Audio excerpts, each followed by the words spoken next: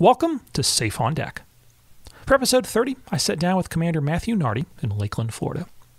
Commander Nardi earned a Bachelor of Science degree in Environmental Science from Cornell University in 2003 before enlisting into the United States Air Force as an aerospace electrical technician. Commander Nardi deployed around the world, working on the A 10 Thunderbolt II and the C 130 Hercules aircraft. In 2008, Commander Nardi earned his commission in the National Oceanographic and Atmospheric Administration, or NOAA, Commissioned Officer Corps, and he sailed aboard NOAA Ship Rainier and NOAA Ship Fairweather before joining Navigation Response Team 5 in New York City, New York. In 2012, Commander Nardi earned a coveted spot in NOAA Aircraft Operations, where he qualified as an aircraft commander and instructor pilot in the de Havilland Twin Otter, the Beechcraft King Air, and the Gulfstream 4 SP. Commander Nardi currently serves as Chief of Safety, Standardization, and Training Branch at the NOAA Aircraft Operations Center, headquartered at the Lakeland Linder Regional Airport in Lakeland, Florida.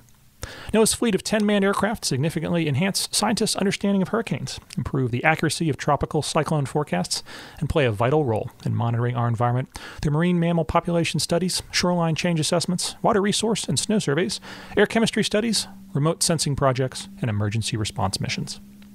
Thanks for taking the time to listen. In the future, I plan to continue to share similar interviews with both current and retired military aviators. If you have a question or a suggestion for a future interview, please leave it as a comment below. Safe on Deck, episode 30, with Commander Matthew Nardi. Enjoy.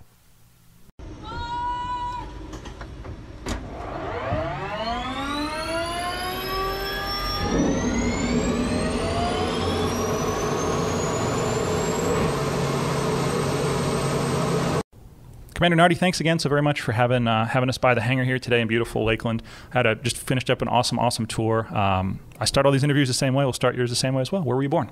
I was born in Babylon, New York, on the South Shore of Long Island. New York, very cool. Florida's a little bit away from there, so we'll talk, talk about how you got here. Went to undergrad in uh, Cornell University. Uh, before that, I did a lot of outdoor stuff. Was in the Boy Scouts and Eagle Scout and all that. So, spent a lot of time outdoors, understanding the environment, appreciation for the environment and everything. And did uh, Cornell Outdoor Education, leading backpacking classes and canoeing classes and everything. It didn't uh, really register like a lot of paths that we've all found ourselves, winding roads.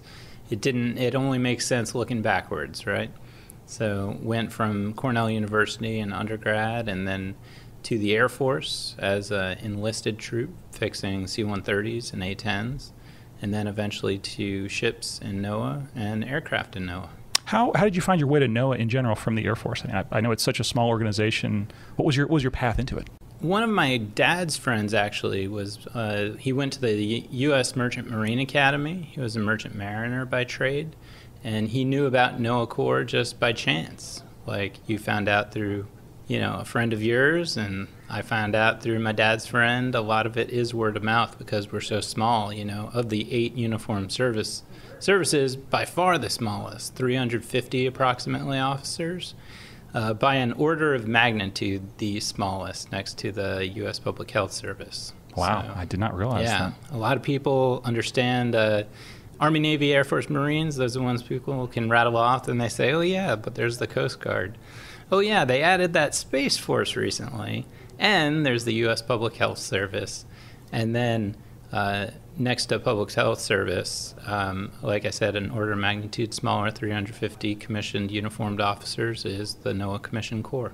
And NOAA is more than just aviation. I'll be honest, because I'm an aviator. It's apparently all I ever think about is aviation. But Sure. I didn't realize until today's tour how many ships you have, and that's kind of where you, so to speak, got your feet wet. Uh, could you tell us a little bit about that?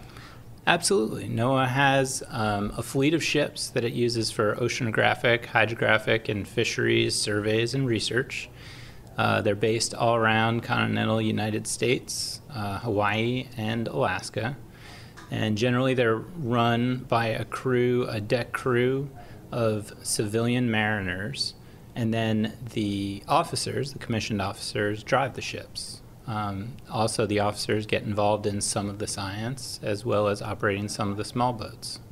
Very cool. So, what uh, was your kind of, I want to say fleet experience? I guess the Navy terminology I know. What was your fleet experience on those ships? So on the ships, I was a deck officer on NOAA ship Rainier in Fairweather. So I spent three years up in Alaska, crashing into waves and having fun up there. Uh, deploying small boats every day. So that was always a very dynamic evolution. Um, a lot of fun, a lot different than open water, steaming and dreaming. So they say, listening to music on the bridge or anything like that. It was always like very close quarters, navigating with sharp, pointy rocks on both sides, and deploying ships. Um, sometimes in protected coves because of the dynamic weather of Alaska, doing diving operations off the small boats because we were doing hydrographic survey. So uh, we're measuring the depth of the ocean bottom. There's so many things that go into that, like the tides, the amount of tidal uh, data that you're you're surveying that, the sound, uh, speed of sound through the water, which is affected by the temperature and salinity, as well as uh, horizontal controls for real time kinematic GPS positioning. So, all of those things involve a lot of work on shore and underneath the water. And I really like that. It was a very dynamic job. Got to get involved in so many things from the diving to the driving small boats to going on shore and installing tide gauges, leveling tide gauges, installing stuff into rocks, and uh, really just like I said with the introduction and outdoor education background, just so much fun and such a great way to integrate that outdoor experience into the environment, getting that environmental intelligence, and then having it impact a mission that affects so many people's lives. That's really, really neat. I think so many of us, we're so used to, you know, you look at your phone, you get all this data, right? And what has to come from somewhere, someone did the hard work to you know, basically put those sensors in place, throw those satellites up in the sky, and that was you. That's so very, very cool, and it sounds like something you really had a passion for too. So, and still have a passion for. It sounds like I as well. really do. Where yeah. did aviation fit into that? What was uh, what was kind of your path into uh, the flying side of things? Did not have a lot of that um, in uh, undergrad, really, uh, and then I went into the Air Force. I had a brief foray into Air Force Special Forces. Uh, did not get uh, through that training. Uh, not necessary to get into the details there, but it's uh, it suffice to say I have so much respect for people involved in that special operations community. And just like not everybody is cut out to be a pilot, we all come with our unique skills, knowledge, abilities, backgrounds. Uh, not everybody is cut out to be a special warfighter. Uh, super amount of respect for those folks. Uh, did not work out during special operations training with the with the Air Force, uh, but I did reclass into maintenance. That was not on the shiny brochure. It was not part of my plan, but I rolled with the punches and um, really got a phenomenal experience going out to Spangdahlem, Germany to fix A-10s, and then later Fayetteville, North Carolina to fix C-130s. And that's really where I got more of the aviation bug. I grew up on Long Island close to Mitchell Field, which is kind of a birthplace of a lot of aviation. It's where Charles Lindbergh took off originally for his transatlantic flight. A lot of uh, birthplace of aviation type background there, but I didn't really have the bug growing up the way a lot of people do. Like when I was 10 years old, there I was.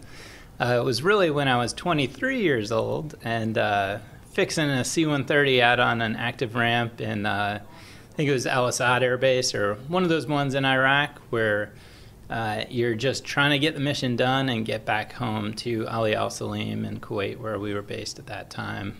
And man, it was just so great seeing the whole organization come together. A lot of people um, just integrating together air crew with the maintenance crew, with the flight crew and everybody making sure the maintenance happened to make sure everybody got home safely. So after I saw that evolution uh, up close, that's really what like hooked me.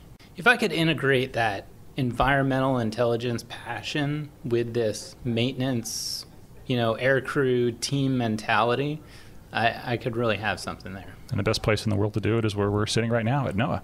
I hope so. So where did you go first? What uh, what platform did you fly first when you started flying for NOAA? I started with the Twin Otter, the DHC 6 uh, Twin Otter. That's where the bulk of our people who come in, uh, especially if you don't have previous military experience on the P3, the bulk of our people start flying the Twin Otter. It's a great primary trainer. Um, it has a lot of um, you know unique handling characteristics, huge rudder, huge control surfaces, great low speed controllability uh, a really great stick and rudder platform for new pilots to cut their teeth on, so to speak. And uh, it's also such a versatile airplane, being unpressurized. Uh, putting different sensors on it is much easier than more of our pressurized airplanes, so it is used for a very diverse background of principal investigators or scientists. And they integrate so many different sensors and projects and it's great for somebody new to the organization to really understand the broad base of all of NOAA's mission sets. A lot of people know the hurricane hunting business, but uh, we're more than just hurricanes now. We do a lot of fisheries, we do a lot of coastal mapping, we do a lot of snow survey, environmental research of all kinds. Any scientist that needs to get a mission done, we make them we we get it done. We bring them to the science. So you're brand new, you just got off the boat, and now you're going to go. I mean, you're zero to hero here, right? Did you have a private pilot's license or any kind of exposure before uh, NOAA? I did have a private pilot's license, but that was it. Okay. I was private pilot's license and just a handful of hours over that. Single engine land, probably. Okay, so real basic. So zero to hero. Where did where did NOAA send you to get that first? It's a multi-engine airplane, obviously the Twin Otter. Where'd yep. you go first for that training? So I went to Vero Beach, Florida, which is um, over on the east coast of Florida, and it uh, at the time it was run by Flight Safety, but it's a private commercial um, commercial outfit that's basically training people up from uh, from zero. Um, we are a uniform service, so there's a certain amount of interface with other military outfits, um, but really that commercial flight training because of our diversity of operations and how we go into and out of uncontrolled fields so much and interface with the NAS, um, we don't do as much of the form flying that military does or the controlled airspace warning areas, MOAs. You know, a lot of our mission sets are a lot more closely tied to civilian aircraft operations. So that training in uh, in Vero Beach was really uh, really formative, uh, just in understanding how to navigate the southeast United States in a small single-engine turbo or uh, piston aircraft. You can't get over these buildups. You got to get around them, and the same is definitely true of a Twin Otter. The uh, sim, the only sim in the world I think we talked about earlier for uh, the Twin Otter is in Canada, right? So I'm guessing going up there next to get that. Is it a type rating you get in the sim? It is not a type rating because the aircraft is 12,500 pounds. Ah, so okay. if it were 12,501 pound, you would need a type rating. So they don't require a type rating for the Twin Otter, but the training is very similar to a type rating. Uh, it's a week of ground school where you learn the basic systems. Going from piston to turbine is definitely a big jump with that. The performance involved is a big jump. Um, and the crew coordination aspect can be a big jump for people. You're going from single pilot resource management to crew resource management. That aspect of somebody reading a checklist and somebody else verifying or checking is different for a lot of people. It's definitely been a, a great experience uh, going to uh, Toronto. They've been phenomenal, um, really training partners, the same people up there each year. and you get to know them as well as some of our instructors sometimes. They all have their their unique perspectives on flying and they get to know our operations. And it ends up being more of an organizational conversation with a lot of these sim operators because they really need to know how we operate. Sometimes we have very unique uh, requests about things that we do in the sim low level stuff or unique box canyon maneuvers or things like that that other other operators just A to B operators that are commercial operators don't think about and we really ask to dive into and they've been great partners with that. So home station for you is here in Lakeland, Florida, but your work happens on the road. I mean, there's things going on in the Gulf, but I mean, you're flying literally anywhere that you could think of in the, in, I'm going to say the U.S., but you know, broadly speaking, you're you're ranging out. Uh, and one thing I want to talk about, obviously, you uh, kind of have gosh, well, you, of all the manned platforms, you fly three of the four. So the Twin Otter, the C-12, and then the Gulfstream, and we'll get into those here as we go on. So pretty much everything but the P3, unless I'm unless I'm missing anything. So That's right. A wide variety, which is really really awesome. Um, but with the Twin Otter specifically, where let's just kind of let's travel the globe. Where did you go? What were kind of some of those first? I'm going to use air quotes here, deployments, but I don't know what the right terminology is. Maybe a trip or a missions. Where where did you go with the airplane? Sure. On our uh, TDY is usually what we call it, TDY for a mission, and uh, we go up to Southeast right whale was my first one out in Brunswick, Georgia, out on the coast of Georgia. A beautiful place um, and very, very great mission set. Um, you get to live uh, in the same area as the scientists on this place, St. Simon's Island, that's like kind of a summer paradise. You're, you're not there in the summer, it's in the winter time, so it looks a little bit different in the winter than it does in the summer. But still, very nice place. Uh, also, northeast right whales. So these right whales are endangered creatures. Uh, Congress has a mandated mission to monitor them. And if they get entangled, we circle them until a crew can come out and free them from the nets.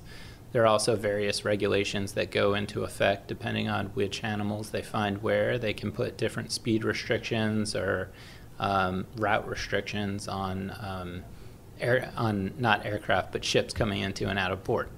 So the right whale mission has been very formative for myself and a lot of other pilots. Uh, coastal mapping, uh, which we do with the LIDAR, uh, light detection and ranging on the Twin Otter, basically mowing the lawn and getting uh, water depths as you go back and forth.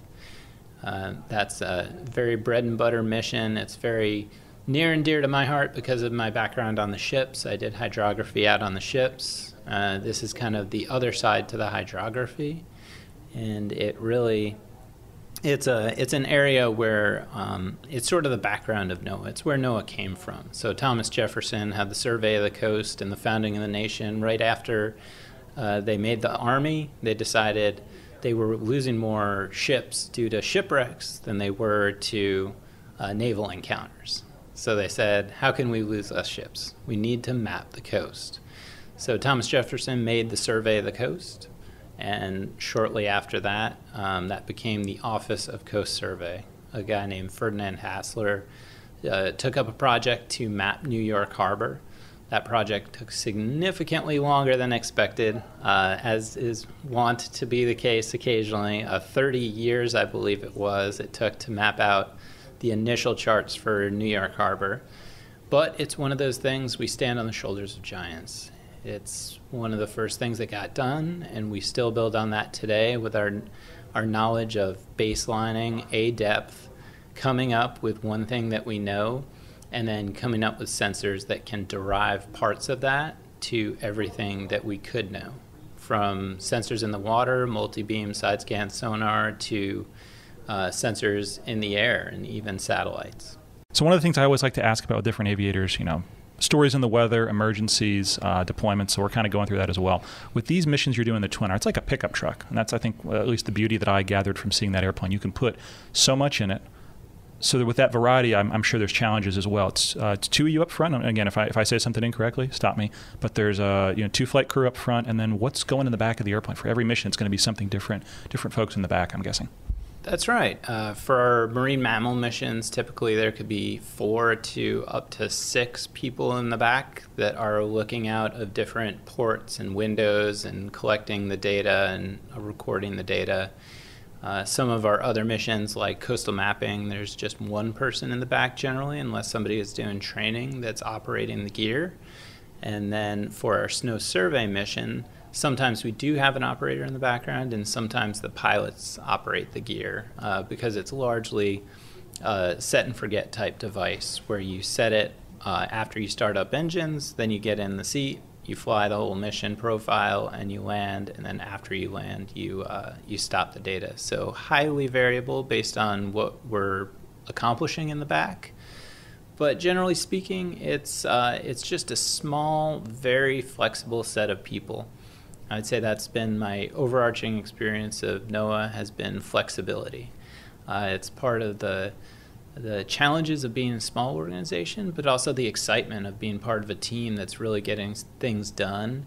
And when you see change that needs to happen, man, there's nothing like being on the front lines and being able to make a change. And then if there's a policy that isn't working for you, you're uh, barely one one level of uh, removal from that person that you know usually it's your boss or your boss's boss that's in charge of that policy so if it's not working if it doesn't make sense if uh, we need to make an operational risk management assessment, we can get that evaluated and do it in a safe and controlled way and not just have groups in the field trying to make decisions on their own. We really have a, a fast and flexible group that can make the safest decisions in the in the shortest amount of time, I think. You talked about snow survey. I know nothing about that mission set. What, uh, where in the U.S. are you doing that? What does that look like? Why are you doing it? Snow survey is uh, generally in continental United States, lower Canada, and Alaska. So we've got a, a network of about 3,800 lines, and we fly the same lines year in, year out, and get a, a background data and we're flying this 330 pound sodium iodide crystal in the back of the plane, uh, whether it's a Twin Otter or a King Air. We're flying it at the same airspeed, uh, 125 knots, or 135 for the King Air, 100 for the Twin Otter. Uh, same altitude, 500 feet AGL. And then we get the background data. That's the ambient uh, gamma radiation that's always around us. It's being emanated from the ground in the form of potassium, uranium, and thorium. And then this 330 pound sodium iodide crystal actually glows. It glows in the back, it's got little photoreceptor tubes. We get that background data and come up with the depth of the snowpack. So the difference between the background data when you fly it without snow and then the attenuation from the water that's in the uh, in the snowpack uh, is actually the the snow water equivalent or SWE, so we get a, a, a measurement in centimeters, and that's the centimeters of SWE, and that could be in standing water, it could be in ground ice, it could be in snow, uh, hard packed snow or deep packed snow. And then that is going to feed into the models of the water managers, generally speaking, for the drought issues they're having on the West Coast, um, or of the river center forecasters that are trying to figure out spring flooding models. Sounds like incredibly important stuff and things. I mean, literally, people's livelihoods, people's lives depend on this data. And again, you wouldn't. I mean, I don't know. You just assume that it comes from somewhere. This is this is where it comes from. Absolutely, and it's great to meet people on the road that it impacts. Uh, in the Midwest, the Red River Valley has flooded several times in the area of Minot, Grand Forks, and Fargo, and to meet people who say, "Oh, I remember that flood five years ago," and you know, understand that, like, wow, you are doing these things that have true impact on people. You mentioned 500 feet. I want to get back to that. 500 feet altitude. You're uh, you're not up there in the bososphere in that in that little airplane. You are down low, even up the freeway. What's it like flying in that environment? Because you, I'm guessing some of this is very rural, maybe a little bit of urban. Um, what, what's it like flying down low in a Twin Otter? Is not a small airplane. Is it something that's a challenge, or something you just you rise to that occasion and you're you're ready to do it? There's birds down there, there's cell phone towers down there, all that stuff. Absolutely, it's uh, it's definitely a challenge, and it's not anything that we take lightly. We always uh, pre-brief our lines and uh, make sure that we keep building on the organizational knowledge that we've built up. Uh, we have these procedures in place where we have checklists. We make sure that we like pre-brief the lines. Uh, I guess in the military you call it chumming the charts. Uh, you Absolutely. probably have spent hours and days chumming charts. Uh, we do probably a similar process, but uh, it's more on ForeFlight nowadays. And it, it's this iterative process and just making sure you don't get complacent because that one tower that's at a thousand feet, which in the flat Midwest could very well happen, uh, that is that one that's going to cause you a problem. And seeing a cell, seeing a cell phone tower is not hard. Seeing a radio tower can be extremely difficult. I'm sure you see them low level all the time and uh, in the mountains, it becomes even uh, more difficult in terms of weather planning, uh, making sure that you have an exit uh, no matter where you're going. Uh, the weather can obviously be very localized in the mountains, so making sure you set yourself up for success. Because I think a lot of these uh, these missions, the takeaway that I've always seen is that you can really do them all very safely in the right conditions. But if you line yourself up in the right, in the wrong situation with the wrong weather at the wrong time, all of a sudden you've really stacked the deck against yourself. And that's where operational risk management uh, frameworks come up. We make sure that we have uh, objective gates that people have to meet to fly these, uh, both in terms of training and as well as environmental conditions. And also, we allow our experienced crews subjective um, latitude to make their go no go decisions without any kind of punitive measures. Um, it's easier said than done. Making a good safety culture is one of those elusive things that we're all um, that we're all going for. I'm the chief of safety standardization and training branch here, so that's uh, near and dear to my heart. Very passionate. Absolutely. It's trust. At the end of the day, you as the aviator, and I'm, I'm going to speak for myself here briefly, but uh, if if I have um, I the scientists in the back of the airplane, or in my case, flying in the Navy, the crew, uh, you know what the mission is, right? You've got a mission to accomplish, and I'm going to do everything I can to accomplish it safely. But at a certain point, I have my off ramps. When they start to escape, there's only one left. Okay, I'm done. This is the last one I'm taking because after that, there's the mishap. And uh, I'm sure we all have you know personal stories. I'm very passionate about aviation safety for a couple of reasons, some of which I'll share with you afterwards, um, off the air, as they say. But yeah, uh, we all know folks that are better aviators than, uh, than us that have you know had something bad happen, and you want to learn from that and share it with others. Um, so I imagine that trust between you and the scientists in the back. They're probably going to ask for anything and everything, and you at a certain point as the aviator say, "Hey, I've, we've done all we can, and here's the off ramp. Here's where we're going to go back, land the airplane, or maybe we're not going to get this line done." Absolutely, yeah. I think back to a, time going into uh, Dutch Harbor, Alaska. Uh, operating out on the Aleutian chain is a good example of where things come in really fast there. Uh, the atmosphere is very stable, which sounds like a good thing, but that just means it's a slow moving soup there. So if a, a light breeze comes the wrong way, you have a 200 foot overcast that's like coming in real quick. And uh, coming into Dutch Harbor, uh, there's just a few approaches, and um, it's one way or the other. And it kind of sits in a bowl, and there's a mountain in front of the bowl which is a really good setup for a nice protected harbor, a really bad setup for an airport. So you can only do this uh, approach during the daytime. Uh, we were doing it in the daytime, but it was getting close to nighttime. I knew that we were going to land uh, in daylight, so I knew we were good there. But the thing you have to keep in mind with uh, uncontrolled approaches, you get in the mindset of CONUS, United States, actively controlled. You're doing ILS approach down to minimums, boom, go missed, radar vectors. You're doing another approach in like two minutes. If you're uncontrolled out in the Aleutian Islands in a twin otter, now to do a missed, you have to go missed. You have to do it before the mountain because if you do it after the mountain, now you're pretty much VFR feeling your way around the mountain. Hopefully VFR. And now you have to climb up to 8,000 feet to be able to talk to Anchorage Center and come up with a new plan. Uh, that's a whole lot different than doing an ILS approach over in an actively controlled VHF uh, environment. So it it was definitely one of those moments where I thought, okay, let's make sure we stack all the other cards in our favor.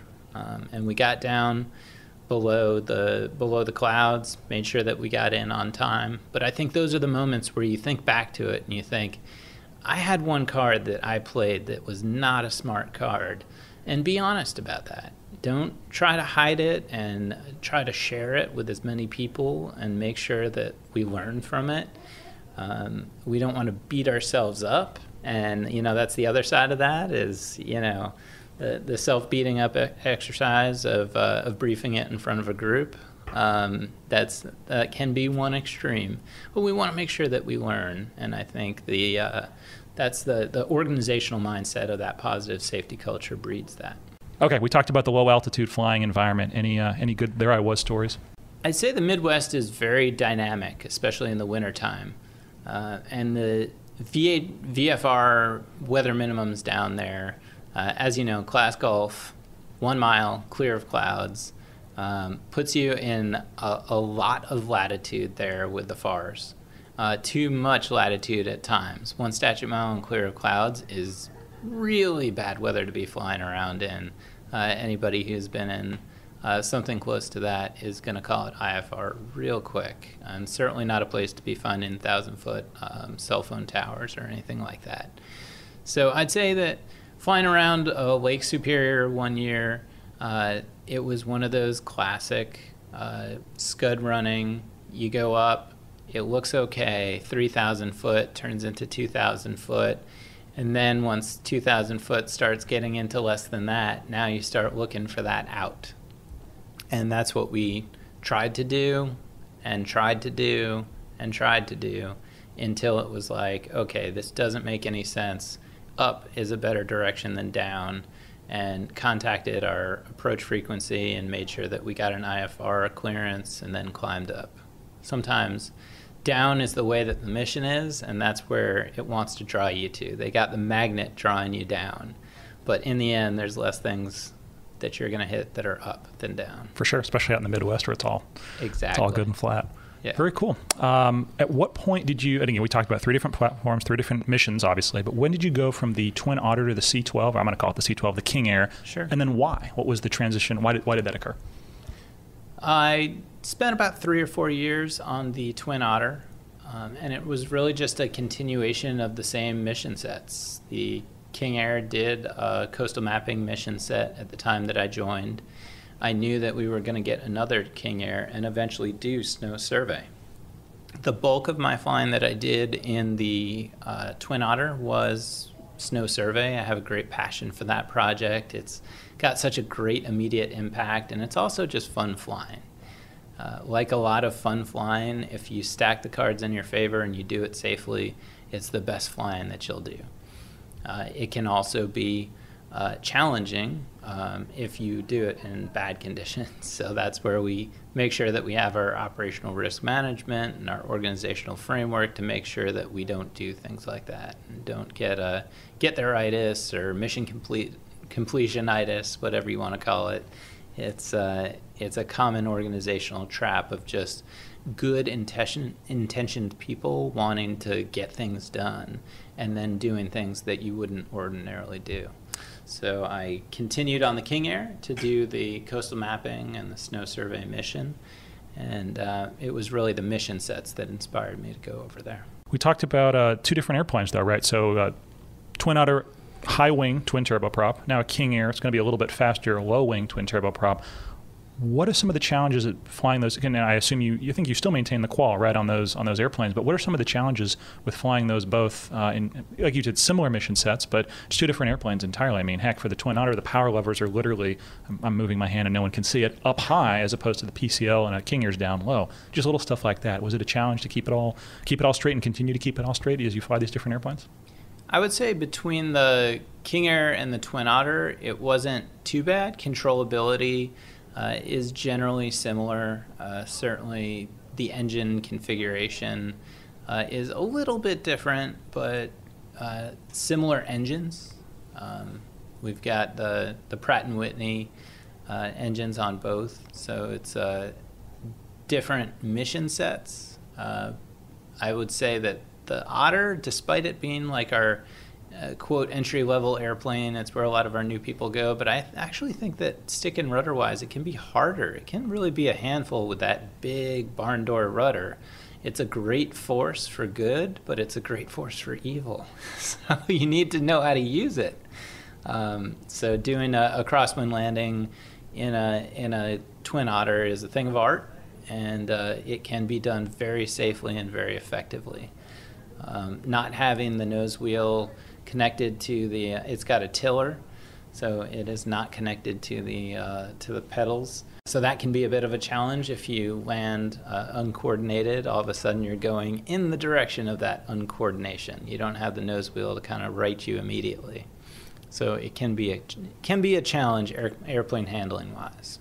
So kind of an odd data point, but I always like to tell it any chance I get to. Uh, so when I did my master's at the University of Tennessee Space Institute in flight test engineering, um, one of the gentlemen that uh, I think of as a mentor, wonderful guy, Rich Renato, was a test pilot at Bombardier, and he did some stuff with ice shapes on the Twin Otter. There's a pretty famous video. They put foam shapes on the leading edge of the airplane, and uh, I think they were essentially taking it to its limits. And Rich is a small guy, former like F-100 pilot, Vietnam era, incredible dude. There's a famous video of the airplane literally snapping the flight controls out of his hands because the aero load from that ice on the wing in flight was too severe. And I don't know how they, they fixed it essentially, but it's always given me a great respect for flying an airplane through ice. And I have zero experience doing it. Anytime I get close in my little airplane or something, the general aviation, I'm nope, nope, nope. Let's either climb or descend or something, but get out of this. I've not flown in ice, but I think you have. Any good stories or any uh, kind of data points to share on flying in ice? Yeah, that's a great video. I, I just wanted to add that we used to watch those videos for our training every year, uh, going up to Alaska with the Twin Otter. It's a known quantity. This Twin Otter is not going to fly a whole lot higher than 12,000 feet, certainly unless you get oxygen, and even then it doesn't perform, you know, the way you'd like it to perform above 12,000 feet. And um, you're going to be on ice. It's uh, almost a, a definitive statement. So, um, yeah, we used to watch that video as me- method of training. Um, in addition to going through the AFM and making sure that we had our personnel qualification standards, go through our PQS and do all the discussions, make sure we check each other and make sure everybody is understanding the procedures going into ICE. Because you might operate in one of these southeast right whale, northeast right whale, uh, one of these flight regimes where you might not experience icing very often in southeast Florida in a twin otter below 12,000 feet. But now you go up into Alaska and it's your bread and butter. So transiting for extended periods of time in the Midwest in the wintertime in a twin otter definitely build up a significant amount of ice. I've always been impressed by how the airplane could handle it uh, knock on wood, but I haven't experienced that uh, sharp grab of the controls. Uh, hopefully, it stays that way. And um, we also have a strong, again, going to our ORM, time critical ORM, making sure that all our people are empowered to make go, no go decisions. And in times, we have so much data and using it well is uh, is so important. Making sure that crews check the check the NOTAMs, check any kind of pilot reports, understand when it's trace icing, when you can get through it, when the otter is going to be able to shed it, and when you get those urgent advisories, uh, when you get a PIREP that looks like heavy icing, uh, that is not something you want to go into in any aircraft. Generally speaking, in Alaska, the icing that I've encountered has been um, mixed, mixed and light rime, and generally the airplane takes care of it very well. Um, the wings are not made to go fast. Um, this thing is truing out at uh, at 140 and 150. Uh, certainly not going to break any land speed records, um, but with its uh, powerful PT6 engines, that basically means that a lot of this planform, a lot of the wing is dedicated to a lot of excess lift. So the the big Hershey bar wings are great for controllability. They're great for low speed controllability. Uh, they're great for icing. Uh, it has so much residual lift. It can it can definitely deal with that, despite having so many things out there like the non-retractable gear that that can that can build it up. It can deal with it. So I'll be honest, before I knew you, before I had the chance to take this great tour, when I think of NOAA aviation, I think of those beautiful P3s, and I think of the Gulfstream, the jet, because what I think a lot of us know, you watch the Weather Channel or any other kind of, uh, you know, open source stuff on the internet, is you guys fly into hurricanes, and I think that is absolutely insane and awesome. And I know nothing about it, so I have so many questions. Uh, but again, we talked about the progression of airplanes in your career. You stepped up to fly the Gulfstream. So what's uh, kind of the mission set and uh, let's talk. Let's talk about hurricanes. The mission set of the Gulfstream, the primary one is the hurricanes. That's what we're doing June 1st through November 30th. That's hurricane season officially. So we're on call during those times, and we're ready to uh, support the National Hurricane Center and the nation to uh, to forecast the track and intensity of hurricanes. Uh, we also have a couple projects that we do throughout the winter. Uh, GRAV-D is a project where we uh, where we update the gravitational datum of the United States. When you look at your your uh, altitude and it, you get a GPS altitude from your cell phone, uh, or you see any uh, vertical assessment of where you are, like even charts, nautical charts, or paper charts, um, everything has a vertical datum associated with it the altitude of that thousand foot cell phone tower in the Midwest. That's associated with the vertical datum. So it really indirectly impacts everything we do. And NOAA has been working on a big 30 year project to update the vertical datum of the United States.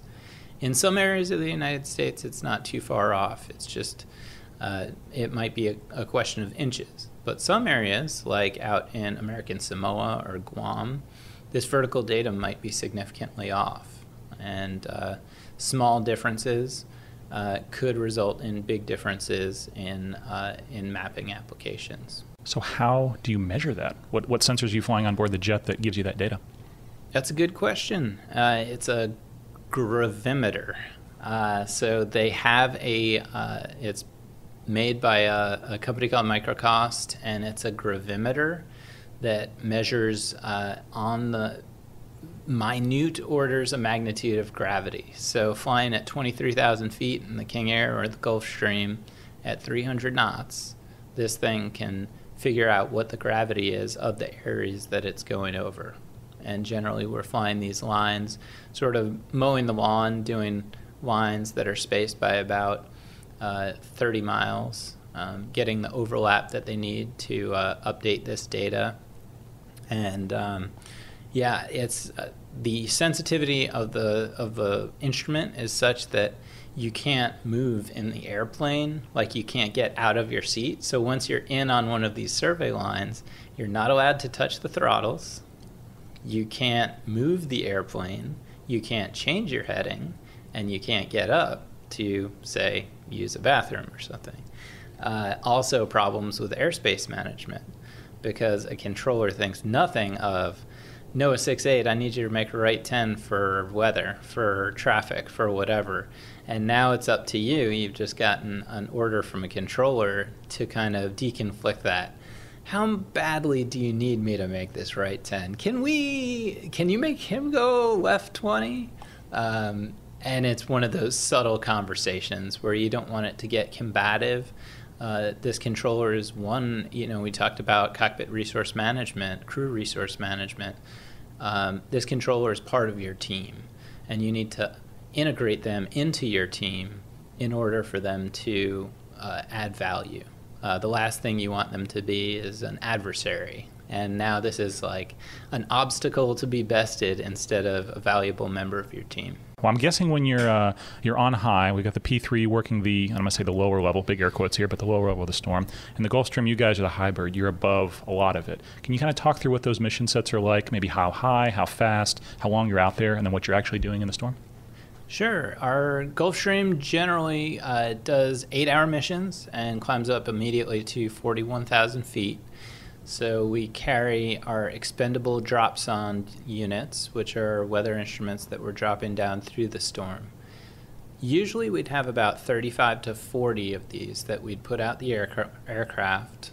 They've each got a drogue chute on them and they go down at about 3,500 feet per minute. And as they're going down, they're sending up pressure, temperature, humidity at about three cycles per second. So three three times per second, they're sending all that information back to the jet as they go down, and we're getting that whole data stream. We're generally taking off at max gross weight, uh, just due to the fact that we want more data. If we could get nine hours out of the plane, we'd get nine hours, but we can really practically only get eight. Uh, so we fly eight hours and uh, just drop about every 10 minutes and make sure we get as much data as we can. Um, a lot of our more recent um, mission sets have been one outer ring where we're about at 150 miles away from the storm, one inner ring where we're about 50 to 75 miles from the storm, and then we do an outflow boundary, kind of mowing the lawn, doing a zigzag pattern, and figuring out where the highs, where the lows are, and where that's going to steer the storm nerdy little uh, aviation data point here for uh, those of you with ForeFlight. One of the cooler things that ForeFlight started recently doing is graphically depicting NOTAMs. And I remember, gosh, this was for Hurricane Ian, which we're going to talk about next. But I remember seeing this very strange zigzag NOTAM that went into the airspace, and it mentioned a NOAA Gulfstream. Well, that was you flying that that mission. Um, and like you said, mowing the lawn. I mean, that was uh, essentially getting air data prior to the storm. I mean, I think the storm was still south of Cuba at the time.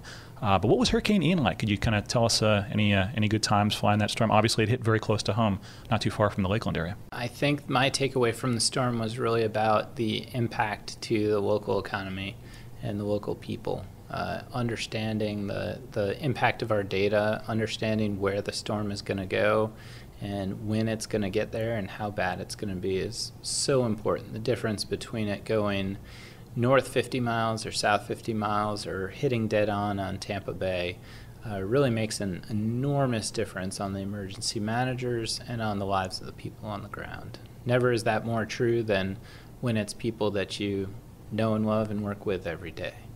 So it was uh, definitely a, a good experience to be part of something that matters and be part of a team that was all working for the, the same outcome.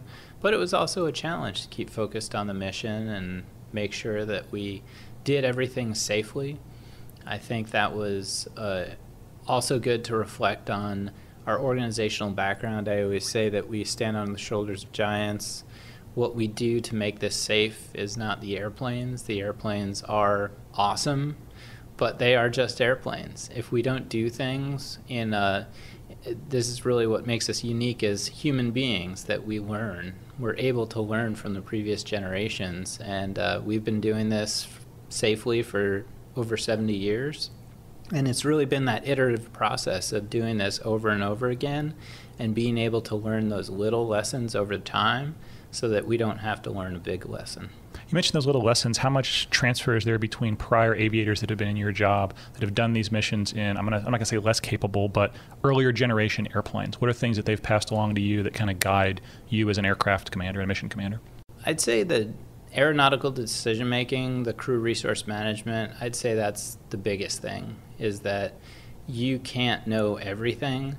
You have a lot of people in the back of the airplane that know a ton. Um, even talking to the controllers, the controllers can add a ton of options into your quiver uh, if you utilize them. And that's something that's so true across different uh, organizations and across different mission sets and across different platforms.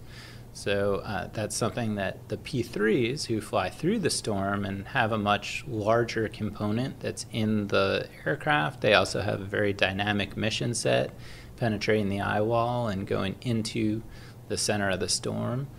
Super dynamic mission set. They have to be have their um, crew resource management, their communication totally dialed in, and they also have had uh, you know incidences in the past where they've said, okay, that didn't work out well. Let's refine this. Let's make a policy. Let's make a procedure. Let's make better training for this.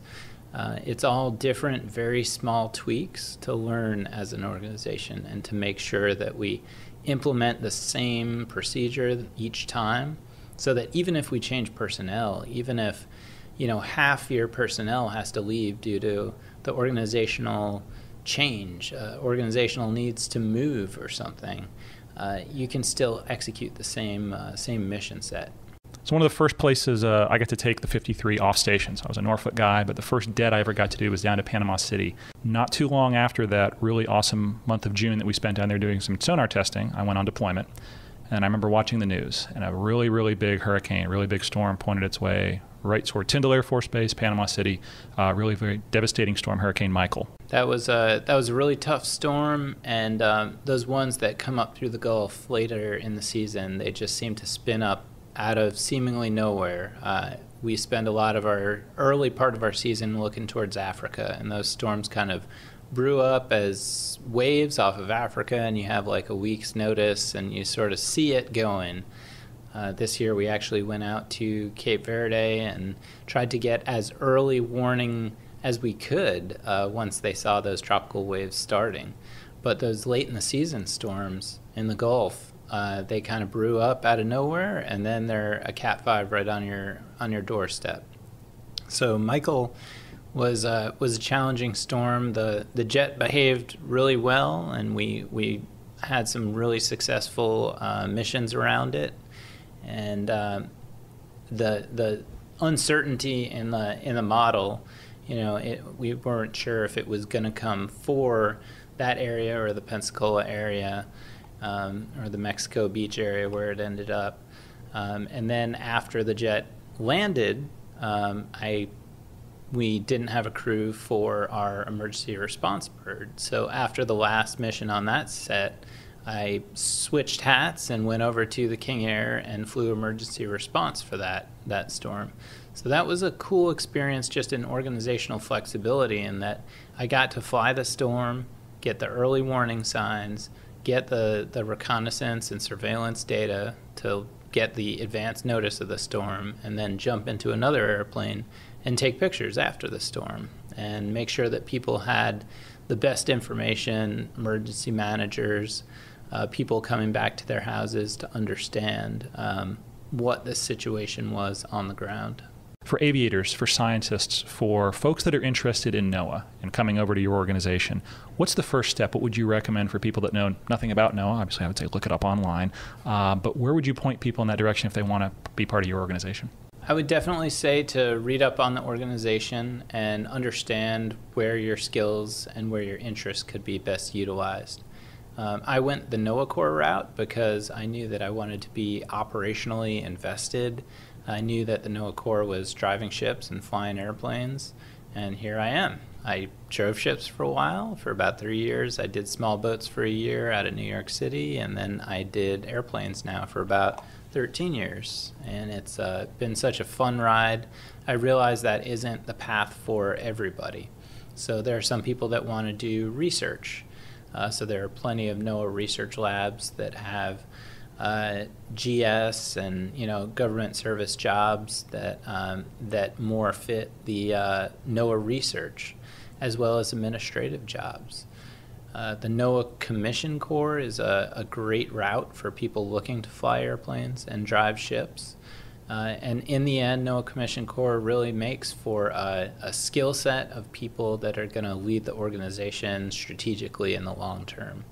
Uh, we make people that notably become admirals and are obviously strategic level leaders in the organization.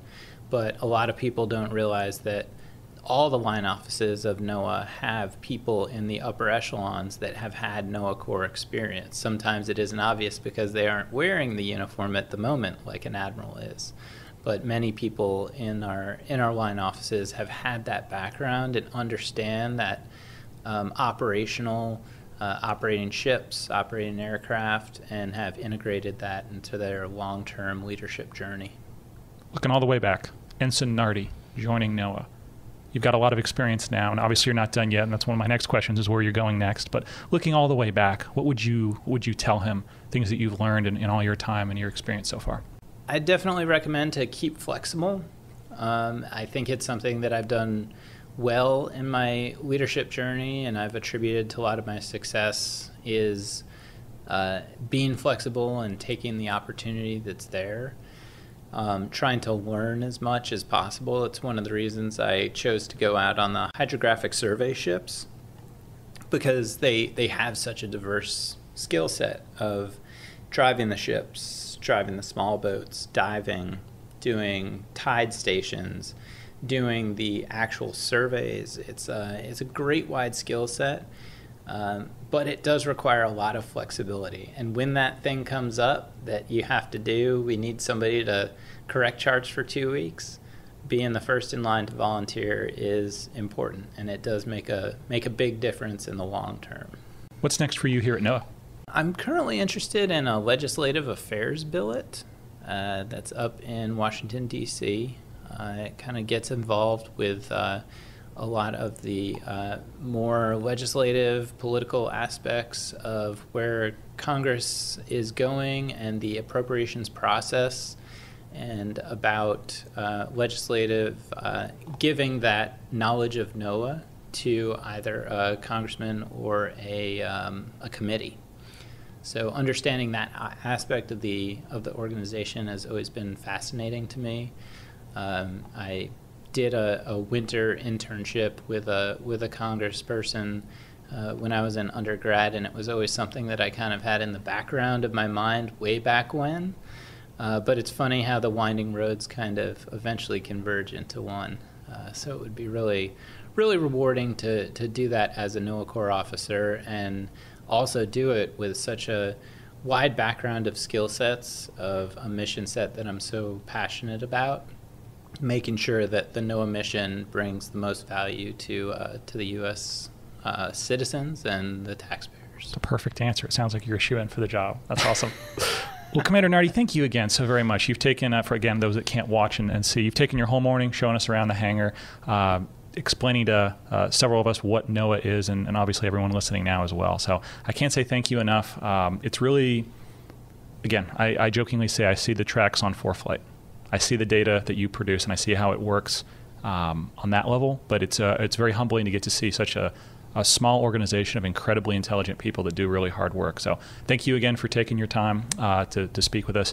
And uh, you get the last word. Anything I didn't ask, anything you wanted to say before we uh, close it out? It's just been a pleasure. I appreciate you taking your time coming all the way from Pensacola. Um, I think the aviation community is so small, uh, shockingly small. Uh, I, I, think the uh, the amount that you'll run into the same people over and over again is uh, is surprising. So I, I hope this is able to get the word out, and I can't li- wait to listen to more episodes of the podcast to come. Thanks so much, sir. I appreciate it. Thank you.